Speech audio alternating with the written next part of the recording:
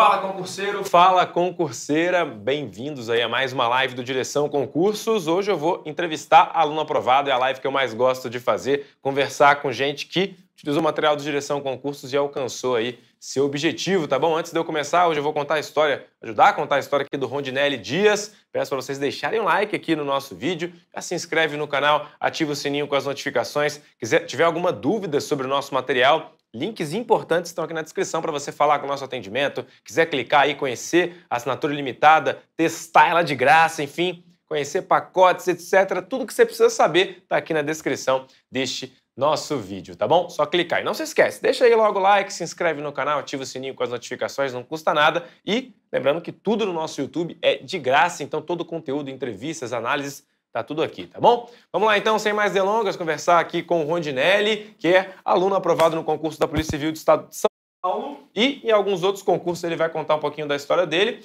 O Rondinelli, que além de tudo é meu amigo, né? O cara que trabalha aqui, ele senta bem aqui, ó também trabalha no Direção Concursos e foi aprovado aí, conseguiu conciliar, não sei como, tá? Vou querer saber, conciliar a vida aí de, de estudo e trabalho aqui no Direção e foi aprovado, Rondinelli. Se apresenta pro pessoal eu já tô cansado de, de conversar contigo, se apresenta um pouquinho pro pessoal aí.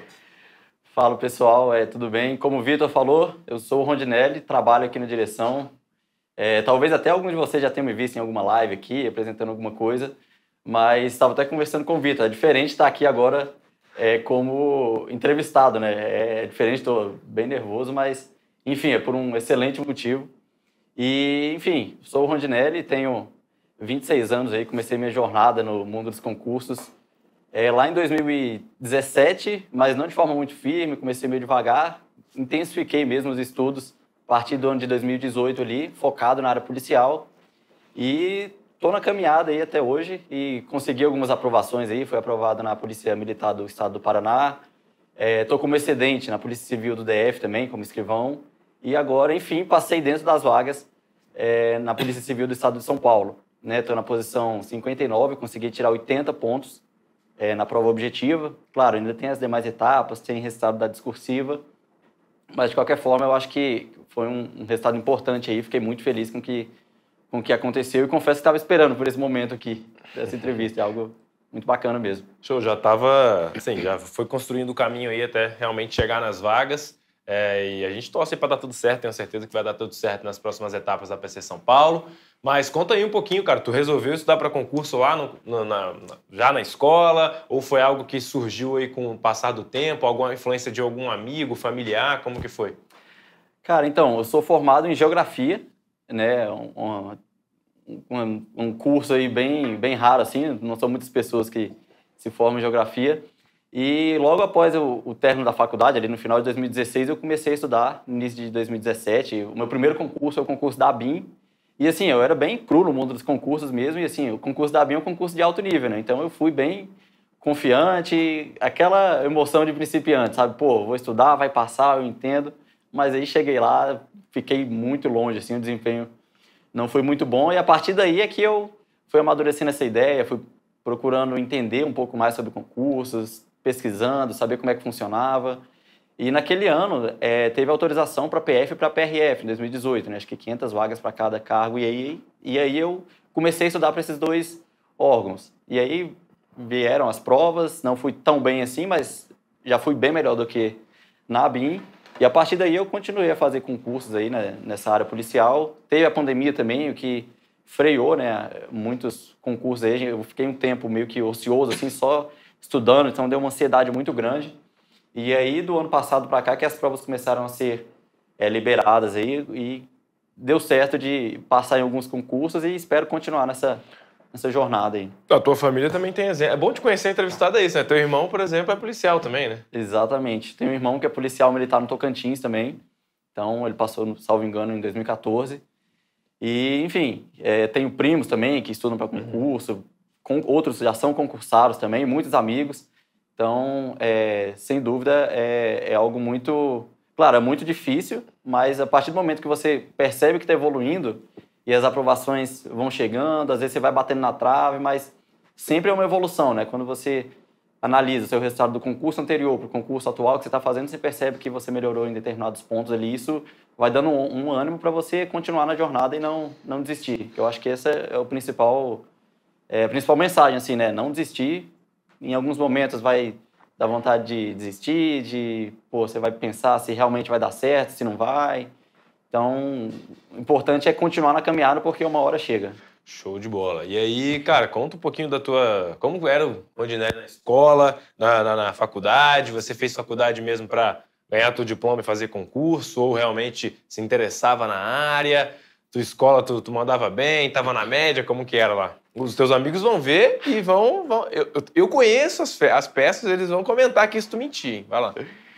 Então, assim, no, Primeiro, vou começar lá de trás. No ensino fundamental, eu era um bom aluno. Na verdade, eu sempre fui um bom aluno, mas no ensino fundamental eu me dedicava mais, confesso.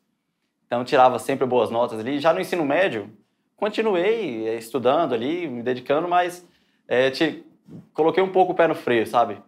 Mas, de qualquer forma, minhas notas ainda continuavam, continuavam boas, mas eu acho que eu poderia ter, ter um rendimento melhor. E, assim, pensando, se eu pudesse até voltar no tempo, pô, se eu tivesse me dedicado lá atrás, de forma mais séria no ensino médio, talvez eu teria conseguido uma base melhor ali de português, de matemática, de outras disciplinas importantes. E talvez minha, meu, minha, minhas aprovações não demorariam, não demorariam tanto tempo para chegarem, né? Porque acho que isso é, é muito importante. Você ter uma boa base ali de português, de matemática, que são disciplinas muito importantes. E aí acabou a faculdade, não, acabou o ensino médio, já ingressei na faculdade, consegui uma bolsa, inclusive, né, consegui uma bolsa para cursar geografia, e a minha ideia era seguir nessa área, sabe? Não era fazer concurso, na verdade era fazer concurso, mas somente para a área ambiental.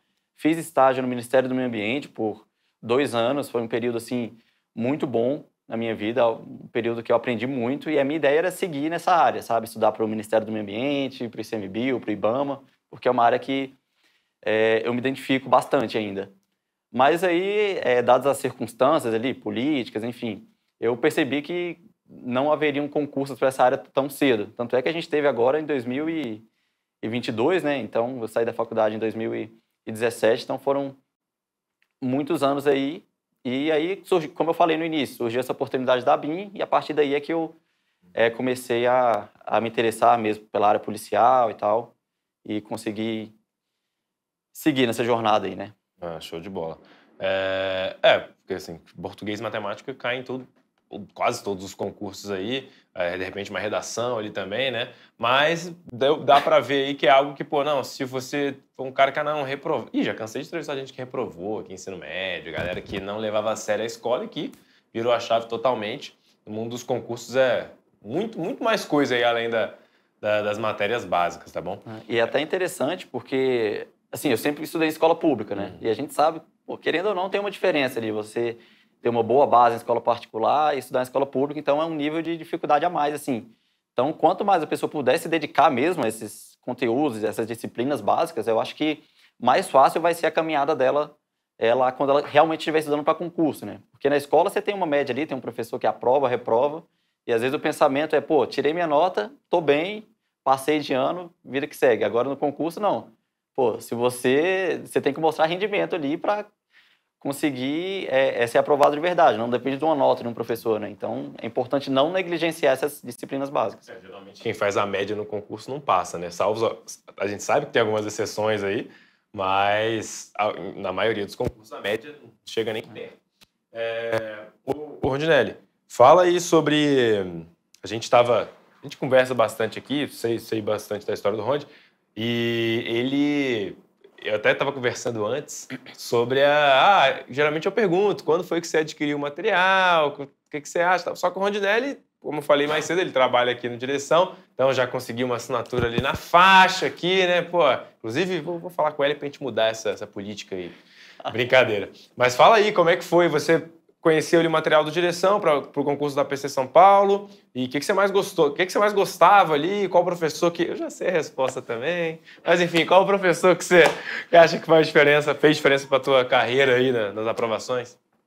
Não, então, como você falou, eu entrei no direção no final de 2020 e a partir daí eu já tive acesso à assinatura é, ilimitada. E como eu falei, vieram muitos concursos e muito interessante da assinatura ilimitada, o que é mais legal é que ali eu tive acesso a vários cursos, né? Então, é, fiz prova da PCDF, fiz prova da PF, PRF, Polícia Civil de São Paulo e PM Paraná também. E, enfim, todos os cursos estavam lá. E eu acho que isso foi um diferencial, porque se eu tivesse que comprar um material para PF, outro para PRF, outro para para as polícias civis, outro para a polícia militar, então é, a assinatura limitada facilita muito nesse ponto. E algo muito bacana também é, é, a estrutura de estatísticas de questões que são mostradas lá dentro, né? Claro, sem falar do PDF 2.0, que é algo é, muito bom também, mas é, essas funcionalidades que tem lá dentro, sabe? Essas estatísticas, o, é, o treinador virtual, que à medida que a gente vai fazendo questões, depois a gente, que a gente vai até falar sobre isso, eu sempre gostei muito de fazer questões e ali sempre teve as estatísticas do que, que eu estava indo bem, do que, que eu estava indo mal, o que, que eu precisava melhorar. Então, isso me ajudou muito. E, assim, os professores de direção também não tem nem o que falar, né? Sou, sou suspeito. A gente convive aqui quase que diariamente com, com alguns deles. O Eric, pô, sem palavras, o Vitor Dalton, o Arthur. E... Pô, só falou o nome de sócio, hein? Caramba aí, na moral, vendendo peixe aqui, ó. Tô vendo, hein? Só, só falou que tá... Fecha nessa aqui, ô, Só falou o nome dessa foto aqui, ó. Que isso? Fala do Ronaldo também, do Ronaldo Mário. Então, é que o Ronaldo e o Mário, eles não é, estão tão ativos assim em disciplinas da área policial, né? Então o contato foi mais mesmo com o Eric, com o Arthur, com o Dalton, mas sim, fazendo justiça também. Professor José Maria de português, professor excelente, aulas excelentes, com certeza pô, me ajudou muito ali na preparação. E, enfim, como eu falei, são as disciplinas, Natália Masson também, pô, sem dúvida. Então, essas disciplinas, assim, foram, foram fundamentais para a aprovação e os professores, como eu falei, não tem nem o que falar, são, são excelentes mesmo. Não, mas quem, de quem que você é fã mesmo? Pô, você até ficou nervoso quando conheceu. Não, sou fã mesmo, de verdade, do Arthur.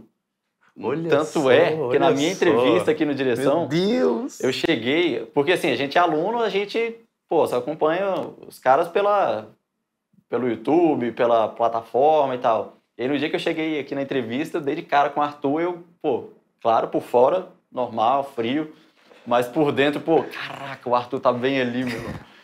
e aí, só que assim, seguir, né? E aí depois, com o tempo, a gente vai validando, vai pegando intimidade, enfim, vai tendo esse contato mais próximo, isso vai vai passando, mas confesso que esse primeiro contato assim foi, mesmo que visual, nem cheguei a conversar, mas só de olhar assim foi foi algo é, é, diferente. É, geralmente o pessoal, quando vem aqui e tal, os aprovados, caramba, o Arthur ali, o Vitor Dalton, tal, e ele vai conversar com a galera, é, mas é legal. Aí você vai trabalhando com o pessoal e vai, vai passando. Mas, ô Ronge, sobre, sobre questões, cara, é, você, eu sei, conta aí como que era a tua rotina de estudos aí, pode falar da PMPR também, PC São Paulo, PCDF, é, como que você separava ali teoria, questões, enfim, se fazia revisão, simulado, etc? Então, como eu falei, eu estudo desde 2018 e, enfim, eu entrei no direção no final de 2020, só que nesse período aí eu fui adquirindo muita bagagem teórica, eu fui pô, fazendo meus resumos ali, fui construindo essa bagagem é, teórica que eu acho que é, que é muito importante. E aí, a partir de certo momento, eu só fui, eu foquei principalmente em questões, sabe? Claro, sempre revisando ali, sempre aprendendo conteúdo novo ou outro, mas a base mesmo nesse, nesse final aí foi a resolução de questões. É, claro, a gente trabalha o dia quase que inteiro, então às vezes chega em casa cansado, dá um desânimo, mas na medida do possível ali eu mantive os meus estudos, claro, pautado em resumos, em questões principalmente nessa reta final, sabe? É, no ônibus também, eu acho que tem muita gente que é, que vai se identificar com isso, eu aproveitava muito o meu tempo no ônibus, né, tanto para vir para a direção quanto para voltar, iria fazendo questões ali, iria é, dando uma revisada dos meus resumos, iria pô, resolvendo questões ali no aplicativo do, do QC. Tanto é uma, um dado importante, nas minhas estatísticas do QC, tenho, mais, tenho é, eu acho que mais de 80 mil questões resolvidas, desde o início da minha caminhada lá em 2018. É um número assim expressivo que, pô, quando eu olhei, eu, caraca, fiz isso tudo. Mas, é, sem dúvida, a resolução de questões é muito importante e, e, era basicamente esse o meu ciclo de estudos aí nessa reta final, sabe? É, tanto na minha aprovação lá na PM Paraná, quanto na PCDF também, como excedente, né? E agora na Polícia Civil do, de São Paulo. É, o meu, meu foco principal, sim, era a resolução de questões, mas, claro, foi muito importante a bagagem que eu construí lá atrás e sempre mantendo aí um ciclo regular de, de revisões também. 80 mil é questão pra caramba, hein? 80 mil é muita questão. Já deve ter visto ali várias, várias. Às vezes repetiu, vinha ali, passava de novo no é, PDF. Às vezes eu batia o olho, pô, essa questão é certo. Só que assim, ao mesmo tempo que eu decorava, era importante também para revisar, né? Porque Isso aqui é VUNESP 2017, já sabia, sabia até o, a prova. Não, mas show de bola, onde? É, parabéns de novo aí, a gente fica. Pô, eu sempre falo isso para os aprovados e repito aqui, a gente, o direção, todo curso, na verdade, tá? Quem te falar o contrário está mentindo. Todos os aprovados que passam aqui, que sentam aqui, que eu converso por call, enfim, presencial, é, são os verdadeiros protagonistas e da, da, história deles. É óbvio, são os grandes protagonistas. Mas aí a gente sempre fica muito feliz de ter participado ali com aquele grãozinho, um pouquinho ali de ter, ter feito parte da história de vocês. Se vocês quiserem saber um pouquinho mais também sobre os materiais, inclusive a assinatura que o Rondinelli utilizou, as questões do que concurso, para quem não conhece, ficam dentro ali do PDF, as videoaulas também, então tudo no mesmo lugar. Se você quiser saber um pouquinho mais, fala com o nosso atendimento, que alguém da equipe do Rondinelli vai te atender, tá? Se não atender, aí você já deixa sua reclamação aqui no chat mesmo. Então, ó, Deixa aí o like no vídeo, já se inscreve no canal, ativa o sininho e os links importantes para falar com atendimento, para falar, para conhecer o material, enfim, pacote, assinatura, etc. Também estão aqui na descrição. Para encerrar nosso bate-papo aqui, Ronde, foi difícil, não foi, foi tranquilo, né? Passou, foi, foi tranquilo, suave, sem problema. É, queria que você mandasse uma mensagem pro pessoal aí, que às vezes você falou aí sobre desistir, sobre continuar, manter apoio ali da família, dos amigos. É, para falar com esse pessoal aí que às vezes usa esse, essas, esses vídeos aqui para se motivar, para conhecer uma história bacana. Queria que você falasse com o pessoal olhando ali para a tua câmera e para a gente encerrar o nosso bate-papo. E aí, é só que nem o Mário fala mesmo, só não passa quem desiste? Cara, eu acho que a regra é essa, só não passa quem, é, quem não desiste. É, como eu falei, estudo desde 2018, tem quatro anos aí nessa caminhada. E, assim, na escola eu sempre tive certa facilidade com alguns conteúdos, sabe? Mas. Vou parar isso aqui, vou parar. Vou parar, peraí. Vou parar porque esse é meu amigo, não corta não, gente. Vamos deixar aí. O Rondelli falou: só não passa quem não desiste. Aí tá errado. Aí ficou complicado. Aí você acabou de desmotivar todo mundo que tá aqui assistindo a gente. Só não passa quem desiste, é isso. Vai de novo, vamos lá. A mensagem pro pessoal que tá aí pensando em desistir, Rondinelli, olhando para aquela câmera, por favor. Dessa vez vai, hein? Dessa vez vai, vamos lá. É isso, só não passa quem desiste. Agora foi. Não, mas brincadeiras à parte, pessoal, é isso mesmo, porque retomando aí, estudo há, há aproximadamente quatro anos aí, um pouco mais de quatro anos, e, pô, se eu falar que em muitos momentos eu pensei que não daria certo, que, pô, poder, deveria pensar em outra coisa, eu, eu vou estar mentindo, porque, cara, estudar para concurso é algo muito solitário, assim, sabe? É você com você mesmo. Claro, às vezes você estuda com um amigo, é, tem até um amigo meu, Gelson, que também foi aprovado na é, Polícia Penal de Santa Catarina. E, enfim, já tomou posse, enfim, está trabalhando. Às vezes a gente estudava junto ali, fazia simulados, mas é, às vezes, cara, realmente bate um desânimo. É muito, é, é muito complicado porque é um estudo solitário, sabe? É, é, você com você mesmo ali, você tem que ter muita disciplina, muito foco. Pô, e principalmente quando você estuda em casa, e por boa parte do meu período de preparação ali, eu tive o dia todo para estudar. E muita gente acha que é mais fácil. Pô, você tem o dia todo, então você tem de manhã, de tarde, de noite, define seus horários. Mas isso é, é um engano, tá? Porque às vezes a chance de procrastinação é muito maior. Pô, você faz seu cronograma ali, vou estudar de manhã, beleza, mas aí você olha a televisão, olha no computador, abre o YouTube, e aí você vai procrastinando quando você vê o dia passou, você não estudou nada. Então, tem que ter muita disciplina, muito foco mesmo, muita certeza do que você quer, porque é, caminhada realmente não é fácil, às vezes vem cobranças, é, às vezes também eu comentava, pô, eu vou fazer tal concurso, comentava com família, com amigos, e aí chegava no concurso, não passava, a pessoa perguntava, e aí, como é que foi a prova lá?